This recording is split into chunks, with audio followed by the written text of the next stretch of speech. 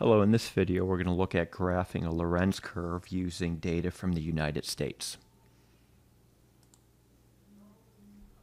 So the Lorenz curve shows the cumulative share of income being earned by household quintiles. It's used to examine the income distribution and issues of income inequality. So here's data for the United States 2018 we have the share of aggregate income received by each fifth or quintile of the households. So the number of households here in thousands, um, this is roughly uh, 129 million. And we see that the bottom 20%, the lowest fifth, uh, earned 3.1% of all income. The second fifth earned 8.3%. The third fifth middle 20% earned 14.1%. The fourth, fifth earned 22.6%. The highest fifth, highest 20% of the income distribution earned 51.9%. And there's also here the top 5%. So, again, just an interpretation. The lowest quintile, or we could say the bottom 20% of households, gets 3.1% of aggregate income. This number right here, the lowest fifth. The next quintile received 8.3% of aggregate income.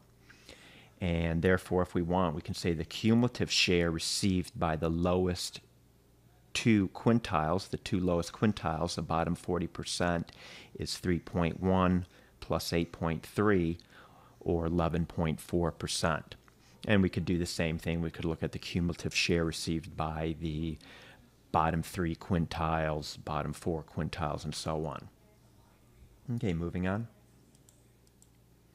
So just taking that information in that last table, rewriting it slightly. So first, second through fifth income quintile and the share of income.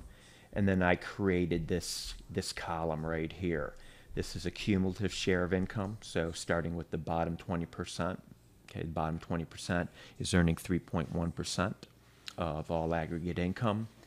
The bottom the bottom 40%.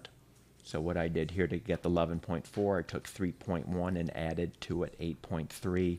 So the bottom 40% are earning 11.4% of the share of aggregate income. To get the bottom 60%, we're just going to add up the share of income going to the first three quintiles here, and we get 25.5 or 14.1 plus 11.4. And the share of income going to the bottom four quintiles is 48.1%. And then finally, share of income going to all the households is going to be 100%. So this is just 51.9 plus 48.1. All right, this other column here would be the share of income going to each income quintile if we had perfect income equality. So the bottom 20% earns 20% of the income, the bottom 40% earns 40% of the income, bottom 60% earns 60% of the income, and so on. So what we're going to start doing now is taking this information in the table and graph our Lorenz curves. We're going to graph two curves. We're going to graph the basically the third and fourth column. So starting with this last column, if we were to graph this last column, share of household 20%, the first income quintile, they get 20% of the income. Bottom 40% gets 40% of all income, and so on. So if we graph this again, like I said, this last column, we're graphing what is referred to as the perfect equality Lorenz curve. If everybody earned the same income, if all households had the same exact income, the Lorenz curve would be a upward sloping line here at a 45 degree angle.